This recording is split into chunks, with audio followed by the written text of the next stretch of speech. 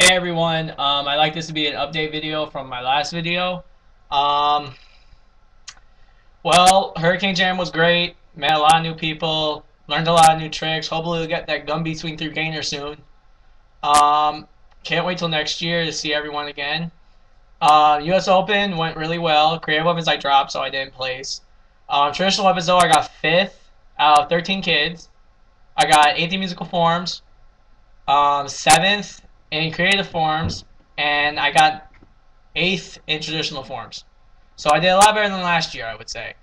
Um, I'd like to thank Mr. Gonzalez for teaching me my traditional form, Becca Ross for helping me out with my both with both my traditional and well all my forms basically.